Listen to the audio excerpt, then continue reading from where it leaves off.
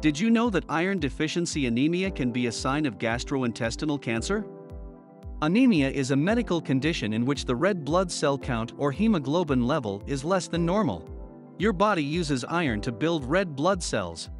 When there is a lack of iron in your body, this can reduce your red blood cell production. Anemia is defined as a hemoglobin level of less than 13.5 grams per deciliter in men and 12 grams per deciliter in women. Common symptoms of iron deficiency anemia are fatigue, dizziness and headache, shortness of breath, weakness, brittle nails, pale skin and cold hands and feet. Iron deficiency anemia is usually caused by blood loss from bleeding from gastrointestinal tracts, heavy menstruation and frequent blood donation. It can also be caused by an inability to absorb iron stemming from certain intestinal disorders, such as celiac disease, that affect your intestine's ability to absorb iron, lack of iron in diet and pregnancy. You can reduce your risk of iron deficiency anemia by consuming iron-rich foods such as red meat, seafood and beans. Dark green leafy vegetables such as spinach and iron-fortified cereals and peas are also good sources of iron. You may also enhance your iron absorption by consuming foods rich in vitamin C such as citrus fruits.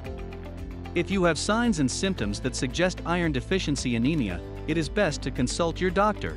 Iron deficiency anemia cannot be self-diagnosed or treated. See your doctor for a diagnosis instead of taking iron supplements on your own as it may mask some serious underlying causes such as gastrointestinal bleeding, or cancers of the stomach or colon. If your doctor suspects gastrointestinal bleeding, he may refer you to a gastroenterologist who is a doctor that specializes in managing anemia and other digestive problems. Your gastroenterologist may order a gastroscopy and colonoscopy evaluation to determine if there is gastrointestinal cause for iron deficiency. This is especially important if you are above the age of 45. You have other symptoms such as change in bowel habits, weight loss and abdominal pain or bloating.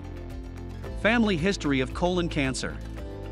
If you or your loved ones have symptoms of iron deficiency anemia, speak to your gastroenterologist today. To find out more, visit us at gutcare.com.sg.